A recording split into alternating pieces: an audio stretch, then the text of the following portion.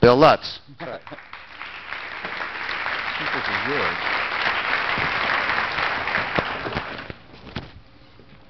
This is my high-tech presentation.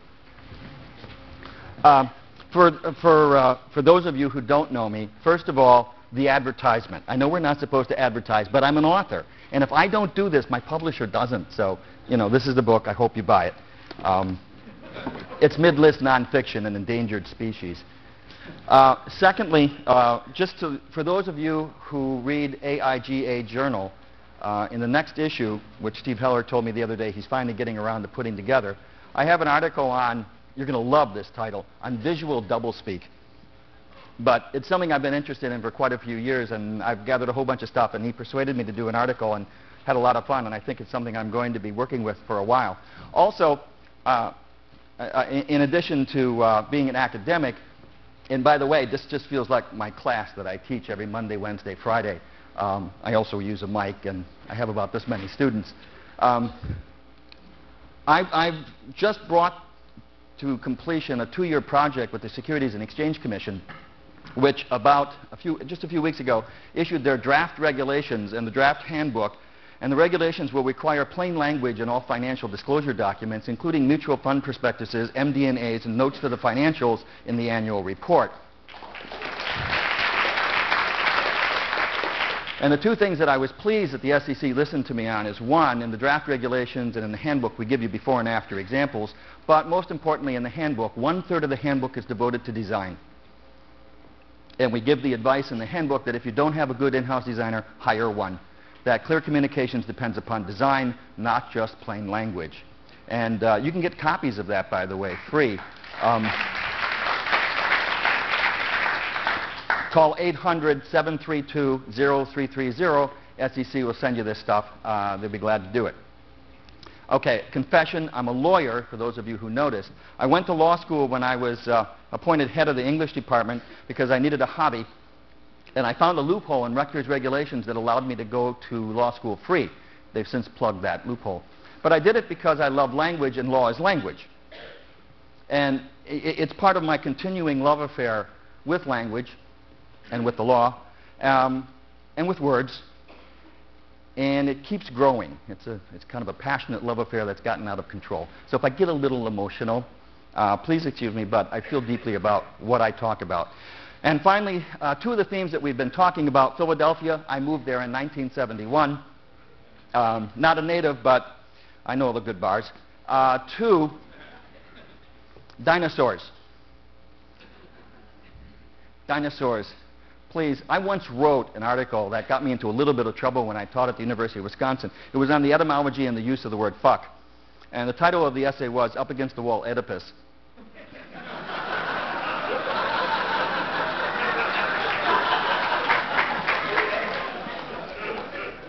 But uh, for those in the know, uh, dinosaurs uh, probably do what teenagers do today. According to the San Francisco Board of Education, it's called penile insertive behavior. And of course, the question is, what do dinosaurs and the Pentagon share in common? It's uh, pre-dawn vertical insertion, which was the Pentagon's term for the invasion of Grenada. Uh, I like that term, by the way, because you notice you have removed the verb. You, you know, you can invade a country, but you certainly can't insert it. Um, U.S. forces today inserted Grenada. Hmm. And, and finally, I like the term consensual marketing. I, I have three pages of notes um, from the last couple days, and I was going to just do my talk on those notes, but I've decided not to. But uh, you'll like consensual marketing because of consensual encounter. According to the United States Supreme Court, here's what a consensual encounter involves. You are standing in front of your house having a cigarette. You're leaning against the car. A few of your buddies are coming over, and you're going to go down to the pool hall and shoot some pool. Two cops come along, and they roust you. Now, you have engaged in no behavior that would warrant any suspicion on their part. In fact, you say, hey, I'm waiting for the guys. We're going to go shoot some pool. They demand identification. What would you do at that point? You know, if you lived in South Philadelphia, you knew damn well what you'd do. That wall would come out real fast. Violates, of course, all the principles, but the Supreme Court said, no, no, no. This is a consensual encounter. whole new definition of consensual there, isn't there? I wonder if that's what we mean by consensual marketing.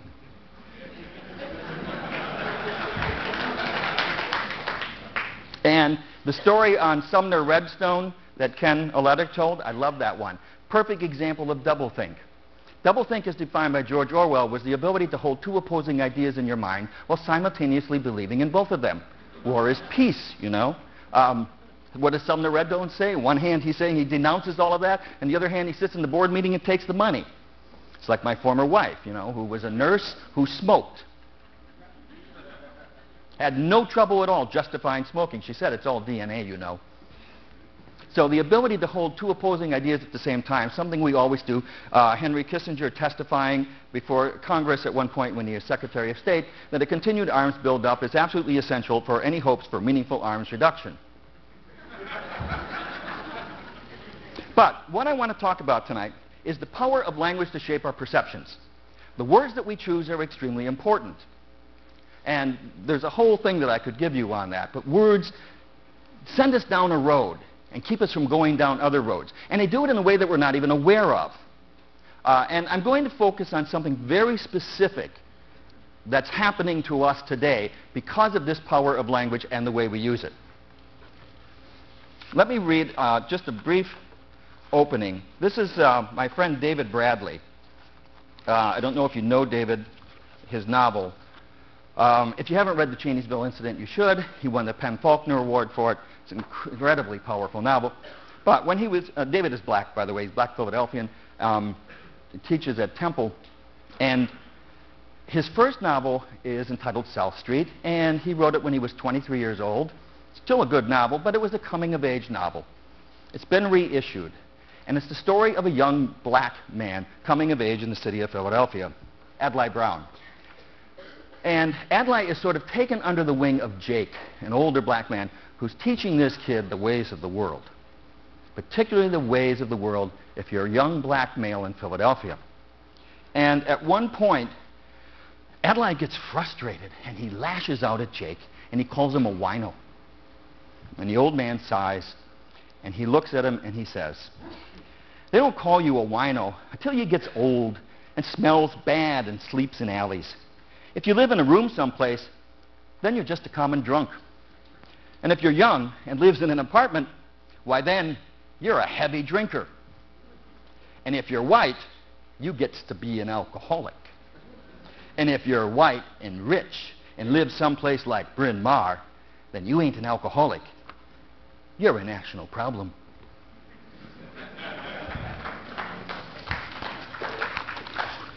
this is what I want to talk about. In the course that I teach in a room this big, I teach, um, you know, we start with the Iliad and the Odyssey and work up to Chaucer. And I try to explain to students that in Homeric times, there was no law, written law. Uh, and the only enforcement was what the Greeks called eidos, which is shame. That if one disobeyed the commonly accepted pattern of behavior, one should feel a sense of shame. And eidos was related to decay, which literally meant boundary, the boundary of your land, and one should never step over one's boundaries. One always knew one's limits. You know, remember Dirty Harry, Magnum Force, man's got to know his limits? Never thought of him as interpreting Greek ethics, did you? But I eidos was shame. And I look around now and I see we don't have shame anymore. Nobody's ashamed. Just the opposite. We, we do outrageous things and we're not ashamed. And I think that one of the reasons is that we have changed the words. We've invented a whole new vocabulary so that we don't have to be ashamed anymore. This is great. Let me give you just a couple examples if I can find the on switch. I hate to tell you, but I really do own three computers. But the on switch is a little easier to find. Do I have to do this on my own? In the middle? What middle? Of, ah, uh-uh, it's on the end.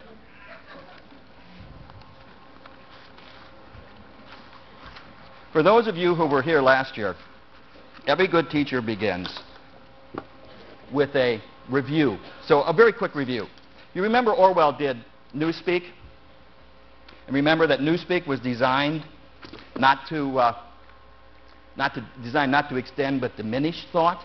This is what language tries to do. You know, compress it, remove it away so that you don't think of certain things.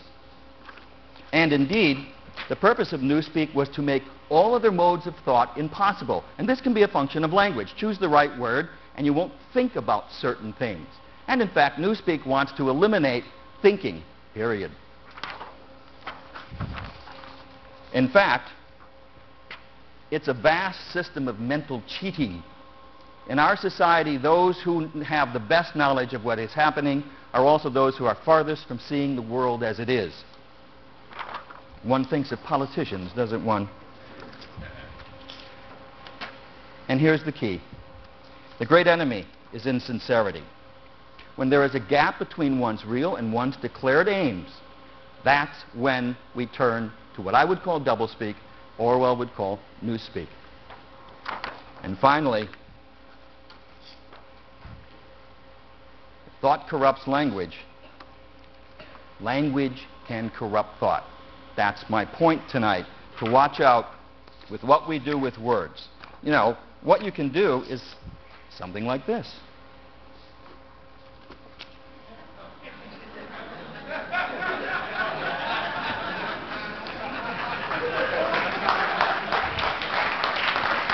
Now, I want you to see, we'll, we'll, start with some of the lesser stuff and work our way up. It's not hard to do. Um, you know, every, no, nothing's used anymore. It's owner pre-tested. Cadillac dealer nearby my house sells uh, experienced Cadillacs. you wouldn't want one inexperienced now, would you? How much longer before he starts charging more? Um, a pre-enjoyed car. Psychologically impacted comes from the state of Connecticut. It is in state law. It was the result of a lawsuit when somebody bought a house and they claimed that it was haunted. So now you, when you list a house in Connecticut, you have to say whether it is psychologically haunted or not. I have uh, two ghosts in my house. Uh, my house was built in 1732. It was a prison for British prisoners during the Revolution. When we were remodeling, we found the curse in the house built into the wall. Um, exceed the odor threshold. It stinks. That's what they talk about for the sewage plant. But we don't have sewage anymore. We have organic biomass or regulated organic nutrients, which, of course, are processed by the resource recovery facility. And of course, they're not homeless, they're just non-goal oriented members of society. The next one is the reason why you should never trust your spell checker because it let the D slip through on that. But you see, we don't kick kids out of school anymore, not in universities. We expedite progress towards alternate life pursuits. And how many of you are familiar with customer capital cost reduction? Ah, did you catch it? That it's now officially, as of uh, January 1, outlawed by the federal government. That's when you went in to lease a car that had no down payment and they asked you for $5,000 and you said, but there's no down payment, and they said it's not, it's a customer capital cost reduction? Thermal therapy kit, ah, that's $36 for the bag of ice that you got in the hospital. And physical examination, you all know what that is. It's the drug test. When you apply for a job, you have to undergo a physical examination. Well, then we world, move into the world of politics. You don't have to be ashamed anymore because nobody lies. When's the last time anybody lied? Nobody lies. Hey, it's just a strategic misrepresentation, perhaps a terminological inexactitude, reality augmentation, categorical inaccuracy, counterfactual proposition, or as the British official testified at the trial when they caught him in a barefaced documented lie, he said, perhaps I was economical with the truth.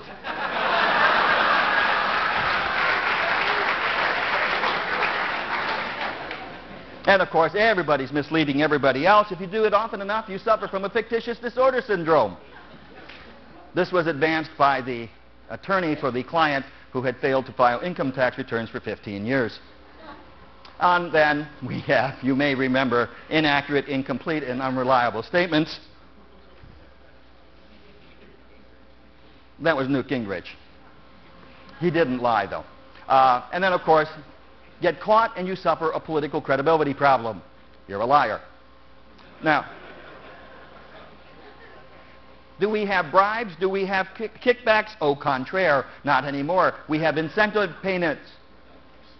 A bribe? No, it's just normal gratitude. How about sales credits? You like after-sales uh, services? You know where that one comes from? A Federal Trade Commission investigation into faulty uh, pacemakers that were implanted in patients. And they couldn't figure out why so many of these were implanted. And they found out that the physicians were getting things like trips to the Caribbean if they used these pacemakers. They were not called bribes or kickbacks. They were called after-sales services. And of course, there's always the favorite rebates, which was used in a trial of mafia, excuse me, members of a career offender cartel.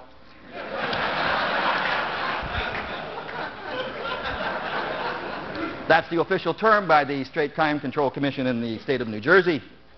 There are no mafia in Atlantic City. Um, and then, of course, if you remember uh, Mr. Milken, during his trial, the federal government charged him with aiding and abetting uh, his clients in tax evasion. His attorney said no, it was account accommodation. Are you, are you an alcoholic? Are you addicted to drugs? No, you're not. You're a victim of a habitually detrimental lifestyle. Notice that. I love that one. You're a victim. You don't do this willingly. I mean, they tie you down. They pour it down your mouth. I mean, people are jumping up and down, shooting things into your veins. You don't have anything to do with it. You're a victim. Of course, if you are a drug addict, you have a pharmaceutical preference. Dysfunctional behavior, that was the defense advanced in a trial of a mugger. Knocked off about 18 people. His attorney said, huh, see, you know, he suffers from dysfunctional behavior syndrome. You like the quote? Advanced by a politician, a member of the United States Congress. I haven't committed a crime. What I did was fail to comply with the law. Wait a minute.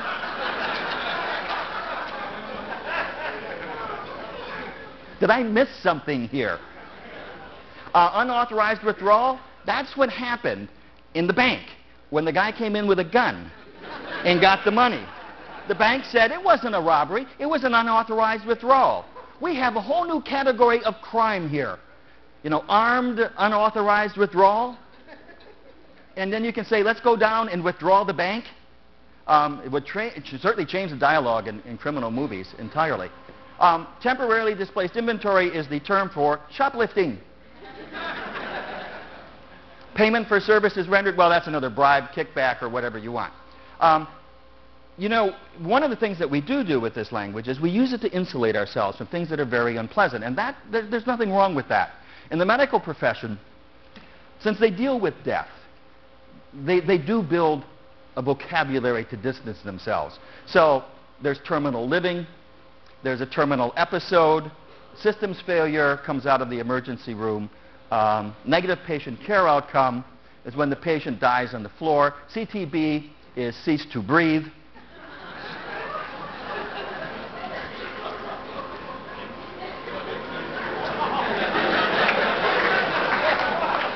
Wait, there's a better one coming. Uh,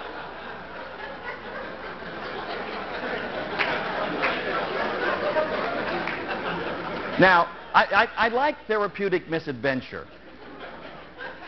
Therapeutic misadventure has a legitimate definition in, in, in medicine. Uh, I had a personal example. M when my mother uh, uh, was suddenly hit with pneumonia in the middle of the night, rushed to the hospital, and of course the standard procedure is hit her with a lot of penicillin, which they did. And for that reason, I mean, she'd had penicillin all her life. She went into anaphylactic shock, almost died. Therapeutic misadventure is when the normally prescribed procedures, when applied, result in an unexpected and unforeseen outcome. Perfectly legitimate term. Shift the scene now to a hospital in Minnesota where the anesthesiologist turns the wrong knob during the cesarean delivery, kills mother and child. Hospital writes it off as therapeutic misadventure. Family doesn't know what's happened, doesn't know that they have a lawsuit. It has now become the term of choice for medical malpractice best example of therapeutic misadventure I heard from my neighbor, the medical malpractice lawyer, when they attached the wrong hose to the patient's chest after uh, some lung surgery, and instead of the drainage tube, put on the vacuum tube and sucked his heart out. Um, yeah, that's really wearing your heart on your sleeve. But, oh, he lived. He lived. Um, diagnostic misadventure of a high magnitude. During a routine colon examination, Dr. Pierce, the uh, the uh, intestines, peritonitis, patient died, recorded in the medical records this way. Discovered by federal investigators, who ultimately, by the way, closed the hospital down. They called it a death factory. It was in Philadelphia. Patient dies, substantive negative outcome. However,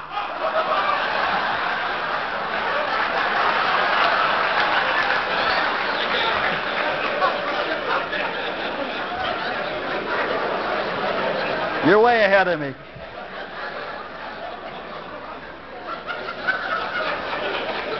It's at this point I have to tell you, I make none of this up. I have a couple rules. One, the examples must be real, and two, I have to document them in the context in which they occurred so that I know for sure that they're not humorous but are real examples that were really made up. This one was given to me by a physician in the uh, uh, emergency room at about 2.30 in the morning when I, when I was there with uh, uh taking uh, a friend in who had cut his hand and chatting with, the, with one of the surgeons. And we were going through the terms, and he gave me this one. And I said, you're putting me on. And he said, no. He said, actually, he said, we always come up with new ones. Um, now, the next one, surgical isolation of the head. I threw that one in because it's, it's not really medical. It comes out of Los Angeles where the, one of the cryogenics places, you know, got a terminal disease, we freeze you and then we'll wake you up later when we get a cure. And a guy went in and he couldn't afford the $30,000 to get frozen and he had a brain tumor. So they suggested that they have surgical isolation of the head. They're going to cut his head off. Nobody explained what was going to happen later if they thawed him out, but you know. Uh, I thought it was such a nice way of putting it. The next three terms are all official government terms for a plane crash. Planes never crash. They have uncontrolled contact with the ground. There is controlled flight into misspelled terrain. And there is failure to maintain clearance from the ground.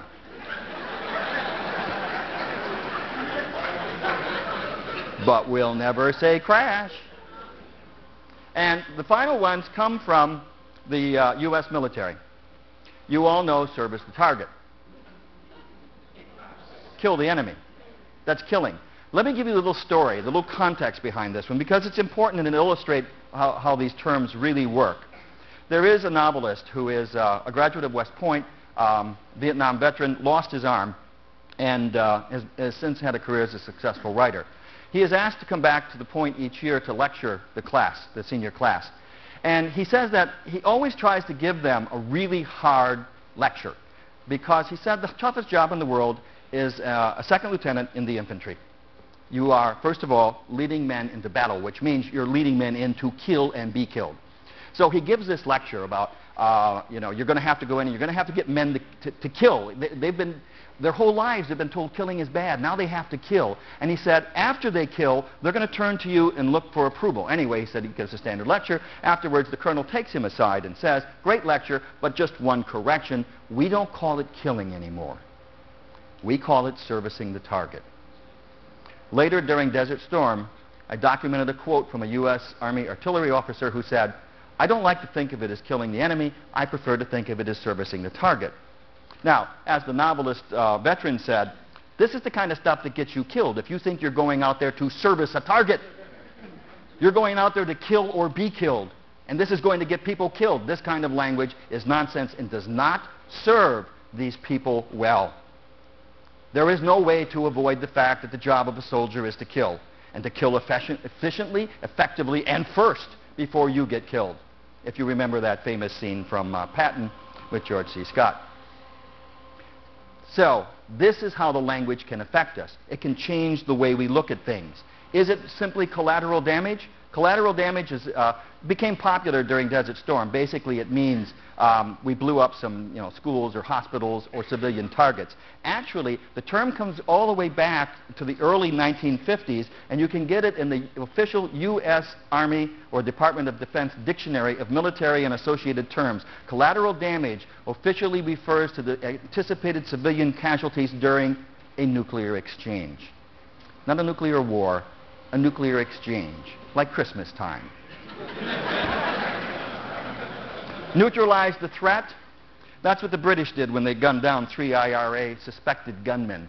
Um, they neutralized the threat. It has now become a term of choice uh, in uh, police departments around the world. Oh, by the way, the uh, sixth leading cause of death among males in America in 1996 was legal intervention. Capital punishment and shot by the cops. Um, and then, of course, pre-dawn vertical insertion, interrogation in depth. well, we tortured the guy until he died. Sorry about that.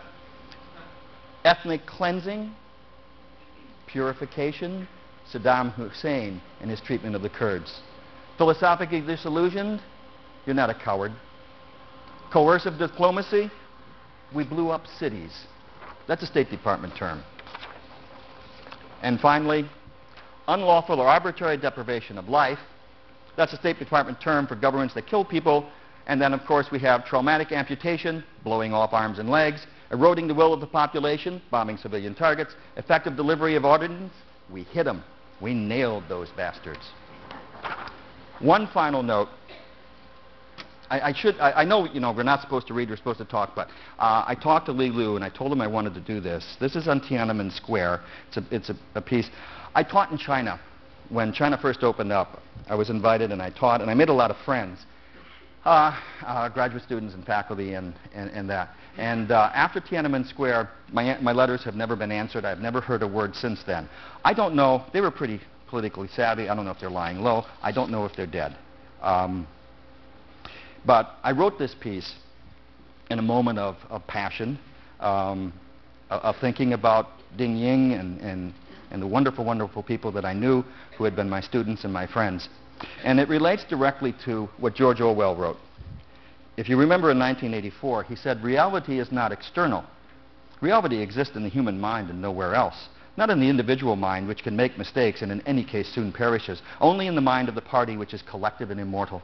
Whatever the party holds to be truth is truth. It is impossible to see reality except by looking through the eyes of the party. And there was a time when we thought he was crazy. Consider this. Thousands of troops did not attack the students in Tiananmen Square on June 4th. No students were shot, bayoneted, or crushed by tank. No one died in Tiananmen Square. No one died in Tiananmen Square. What really happened was a triumph of restraint and sacrifice by the brave troops who, as they approached the square, were viciously attacked by savage gangs of counter-revolutionary rioters, armed, financed, and directed by overseas reactionary political forces. Despite all their attempts to subdue the rioters, the troops were forced to open fire. For as General Li Jun said, the fact is the army was forced to use violence to enter the city. But even then, it never happened that soldiers fired directly at the people. Indeed, as the general pointed out, there was no such thing as bloodshed on Tiananmen Square. It is not from any instance from the soldiers directing their guns at the people. This incident never happened. Yes, it is true. The general also said if we didn't use military force, we couldn't have cleared the square, but then it never happened. The testimony of your own eyes cannot and should not be believed. The extensive videotaped scenes of the violence and death in Tiananmen Square simply misled you from the truth. After all, as Yuan Mu, the spokesperson for the government, made so clear, the development of modern technology can allow people to turn out even a longer film to distort the truth of the matter. Nor can you believe rumor-mongering eyewitnesses such as Xiao Bin, who claimed tanks and armored personnel carriers rolled over students, squashing them into jam, and the soldiers shot at them and hit them with clubs. When students fainted, the troops killed them. After they died, the troops fired one more bullet into, into them. They also used bayonets. But those who know better reported this spreader of lies. After the police had talked with Xiao Bin, he confessed his lies on television. I never saw anything I apologize for bringing great harm to the party and the country. He also admitted he was a counter-revolutionary. So, do, so too did Comrade Cho admit his error. The blood in his shirt was not that of people killed during the Army's attack on the square. I was wrong, Cho said. The party and the government have said nobody was killed, and I made a mistake. I was influenced by bad elements and counter-revolutionaries. The blood on my shirt was surely that of a martyred soldier. Better to believe the four young men who testified, we were at the northeast corner of the Great Hall of the People on the fourth floor. We had a clear view of the square and saw what happened. The army did not kill anyone or hurt anyone. It is not true that any students or common people were killed in Tiananmen Square. to guide you in correct thinking, and to ensure you that you truly understand what really happened, the party provides the necessary guidance. Without the Communist Party, there would be no new China. Love the party. Love the socialist motherland. As the loyal party member said, what they really want is for you to say, we love Deng, we love the party, we love socialism. And we all say it, of course. Almost unconsciously, Winston traced with his finger in the dust on the table 2 plus 2 equals 5. It was all right. Everything was all right. The struggle was finished. He had won the victory over himself. He loved Big Brother. And no one died in Tiananmen Square. The picture of the young man standing in front of the line of the tanks is today a government propaganda poster in China distributed widely throughout the country to prove that no one was hurt because as the government points out on the poster, all those tanks stopped lest they harm one student. Which, according to reports in Time magazine, the student was later arrested and shot. Thank you.